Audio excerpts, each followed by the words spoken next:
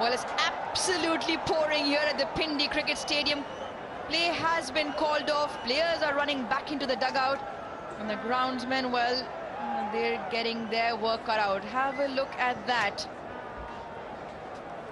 The crowd also running for cover. The pitch needs the covers to come on very quickly in order to protect, protect that square. It is quite a sight, though. Not good for cricket, though. Not good at all. It's raining cats and dogs out there. Babar Azam still marshalling the troops. But this is not what we want for Eid, is it? Got three days of glorious sunshine. That's what I'd planned.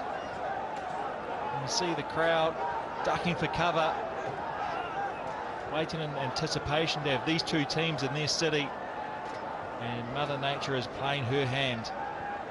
Hopefully it's just for a short period of time.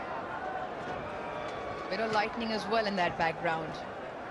It does make for a beautiful sight if there was not a game of cricket on, but like you said, Kyle Mills, Mother Nature and cricket, most often than not, don't make a good combination. The ground staff are underway and trying to cover the square. 164 for 5, where New Zealand are when game was called off.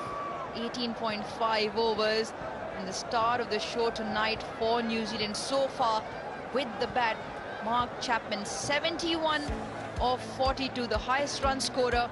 Uh, Bose played a tremendous knock until he was caught in the bowl and undone by Shaheen for 54